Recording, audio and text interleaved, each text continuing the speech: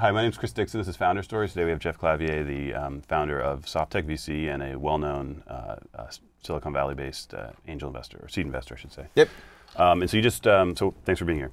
Um, thanks for having me. It's good to see you. Yeah, good to see you. Um, so you just uh, uh, are announcing a new fund. Yes. Can you tell, tell, us about that? Sure. So we just announced that we had wrapped up the fundraising of our Fund 3 at 55 million, which is essentially more than what we had originally expected to raise. So we're glad that we were both oversubscribed and over the limit.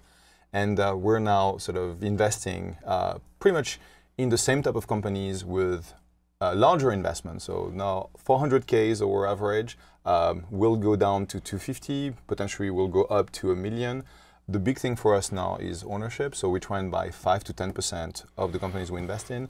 We always co-invest. We'll gladly invest with you and a bunch of folks in New York or in Silicon Valley to just create a very strong foundation for the startups we, uh, we put money in.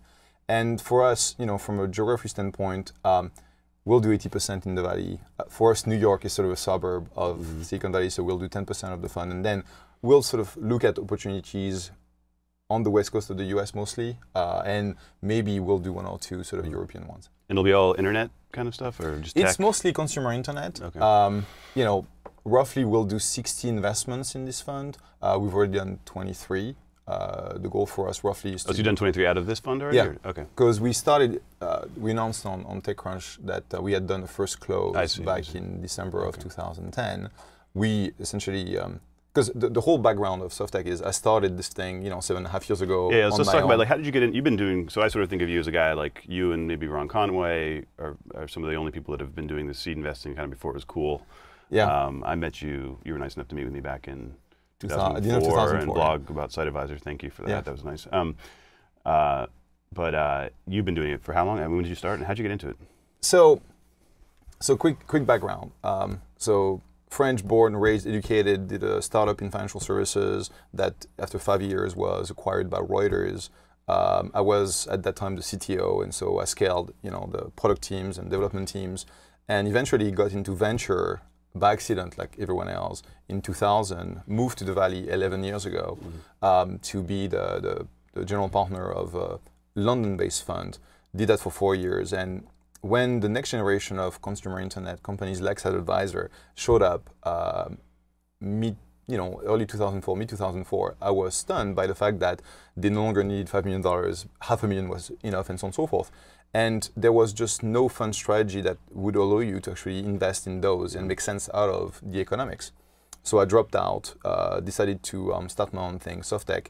And for three and a half years, I sort of built my deal flow and, and sort of my footprint in Silicon Valley by doing angel investments. Mm-hmm. And so did one, two, eight, 10, 20, and eventually was very lucky to get into a bunch of great deals. Uh, like Mint uh, was one of my sort of uh, uh clear winners. Uh, but what, what were some of, like the, back then? What were some of your? Uh, Truveo was one of my first investments. That was, that I'm sorry, that was a video. Truveo was video search. The AOL bot, or, yeah, yeah. Yeah, yeah. AOL bought within 11 months, and mm-hmm. it was a 17x uh, you know, 11 months, so pretty good. Uh, Mint uh, was in Kaboodle, I was in Userplane, I was, which was bought by AOL as well. Mm-hmm. Um, mm-hmm. AOL bought three companies, so we like AOL. Mm-hmm. Um, and essentially, that gave me two things. One is, um, you know, quite a bit of cash back, so we could yeah. actually reinvest it. But also, uh, at that time, I was trying really to hustle my way into deals because I'm not from here, right? Uh, I didn't do Stanford, Harvard, or I didn't do a startup in the U.S. So it was a sort of a challenge to get a French dude, you know, yeah. to talk to entrepreneurs saying, yeah, I can help you. Yeah. Um, and it actually worked out really well because even though I was not a well-known VC, I was still a VC and I could help entrepreneurs with you know their financing and figure out how to uh, structure the investment, how to look at term sheets, how to pitch, and so on and so forth. And so slowly but surely, I sort of built that initial presence in the valley, and, and the blog helped uh, because mm-hmm. I was also not as big as Fred or Brad Feld, but I was still a pretty large sort of uh, VC blogger, and so all, all that sort of was a perfect storm, which allowed me to really sort of get into the deals I wanted, mm-hmm. and eventually uh, in um, mid 2007, when at that time, I think that's one of the things people don't really get about seed investing is that it's I would I, I, don't know what you think, but I think mm-hmm. it's a huge part of its access as opposed yeah. to as opposed to picking people. Mm-hmm. I think the sort of when I first started, I had this sort of maybe naive view that, definitely naive view that, you know, you would, it was all about sort of just you know deciding this was the better company than this one or something. Yeah. Uh, in fact, you mentioned Mint. Mint was one I tried to invest in, but at the time, you know, didn't have. Uh, I guess enough credibility and mm-hmm. wasn't given an allocation. You know, like that's an example. You know, no, no, so I'll hold it against you. But I'm just saying, as an example, like that mm-hmm. was a, to me was an interesting learning experience because I was like, okay, wait, this is about a lot of this is about proving to entrepreneurs that that you're actually going to be helpful. Right? Yeah, and I think it's it's really sort of changed a little bit around 2006 if you go back in history because if you remember some of the early rounds that you and I sort of either got into or saw happening there was a lot of fillers so people were not like uh, the money of mm-hmm. sorts mm-hmm. and all those guys sort of uh, have completely disappeared because now if you can't prove the value yeah. even you Chris Dixon or yeah. even I Jeff Clavier we have to prove every day to yeah, entrepreneurs why they should let us in and so, yes, it's about access. And if you have perfect access, see, meaning you see pretty much everything, which only Run so really does, um, you can then make a determination as to which one you want you want to get into and to uh, and to back. So coming back to the history of um, of SoftTech, in 2007, I had the opportunity to raise uh, SoftTech 2, which was a $15 million fund, one five, and why 15? Well, because that's what I could raise very, very quickly. So SoftTech 2 was raised in literally eight weeks.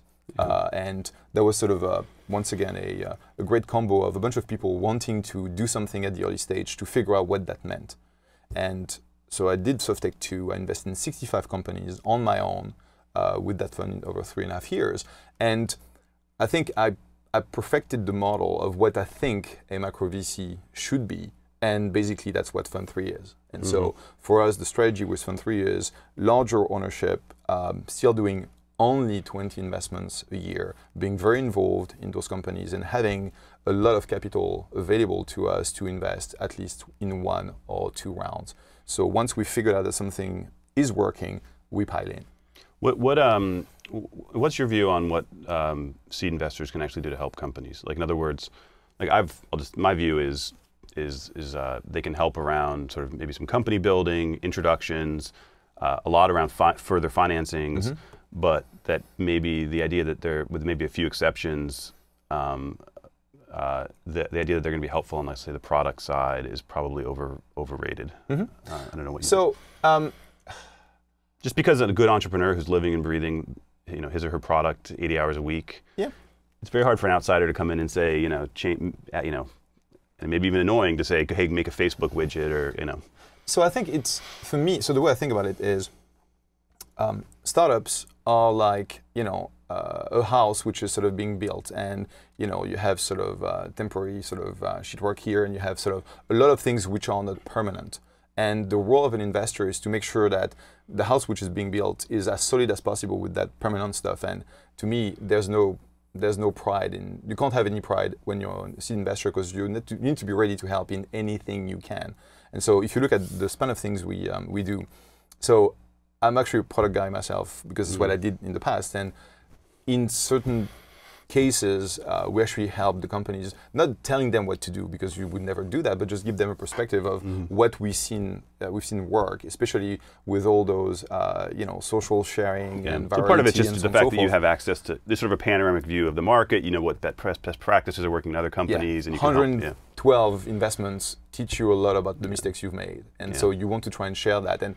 it's sort of trying what we do is pattern matching and pattern recognition. So when we see, hey, you're doing what this company tried to do like two years ago, speak to that guy to see why it didn't work and what you have to understand going down that path will sort of yield or here's how to avoid this issue. Yeah. So product, we actually help uh, quite a bit. Uh, my partner Charles is, you know, one of the foremost foremost expert because he's a you know a CEO in the space uh, around uh, social gaming, mobile gaming, mobile user acquisition, mobile uh, you know mobile monetization, and so he can just share his own point of view that he's living through his own experience and he's lived through you know three gaming companies, uh, so it's uh, it's very valuable.